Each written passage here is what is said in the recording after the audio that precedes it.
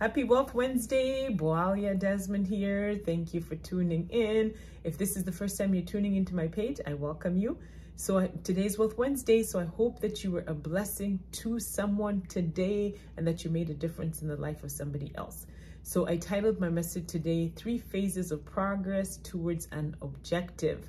And this message was inspired by another mentor of mine, Mr. Ron Reynolds.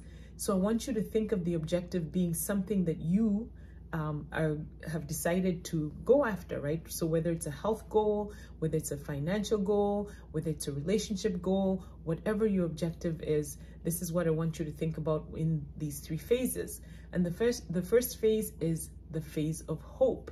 This is where you, you know, you just like, I'm hoping to be, you know, a certain weight. I'm, I'm hoping to feel a certain way. I'm hoping to have this mon much money saved up. I'm hoping to be out of debt. I'm hoping to, you know, whatever you want in your relationships, whatever it is, it's a hope.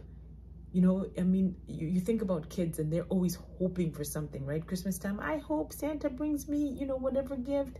My kids were always hoping for, first it was Power Rangers and it was like iPads and it was phones and, you know, they're constantly hoping for something, right? It's a hope. And then the second phase is the planning phase. This is the time when you start to think about the activities that you're going to need to do to get to that objective, to get to that goal that you have. What are you going to need to do? Who are you going to need to become?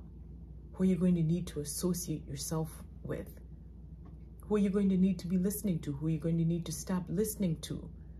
Well, how, what about your language? How would that need to change? Like you start to plan right? Because this is the time when you when you have a picture in your mind an image an image of what that's going to look like how that's going to feel the emotions that go along with it. You're planning because you see it and you're holding on to that image. And then you get the third stage and that's the third stage which you know the first stage of hope and planning make no sense if you don't do this next phase and that is the phase of action. This is where this is where you need to do something. And this is the time when you as you start doing things, right? You know, you, you're going to run through some roadblocks. You're going to run through some things. It's not going to be this nice straight little road. It's not going to be this nice little straight path. You're going to be, you run into some people who might say some things to discourage you. You might, you know, you might get unfriended by some people. You are going to deal with some things, things that are going to stretch you, things that are going to, where you're going to feel like you're suffocating. You might lose friends. You might need to, to disassociate with some people right? But this is the phase that where you, where you hold on to that image, but you know you need to take action to get there. You know you need to do something, right? Have you ever have you ever um, decided to pay off a bill, right? Everything else seems to to stand in the way, and you know what? When you keep your eyes focused on that, you start to take action, and you start to remember why you're doing the things. This is the time when it's when it's good to have affirmations words that you're going to live by, things that you're going to, to have to stand by to remind you of why you're doing the thing that you're doing. And I want to read something to you that he um, wrote as an affirmation. This is what you can say.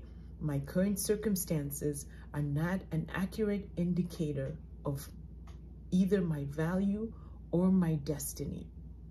It is so important to know what your values are. So you stay true to those values. So you don't become somebody that it, people aren't going to like. You know, where you change yourself so much that you are going against your very values.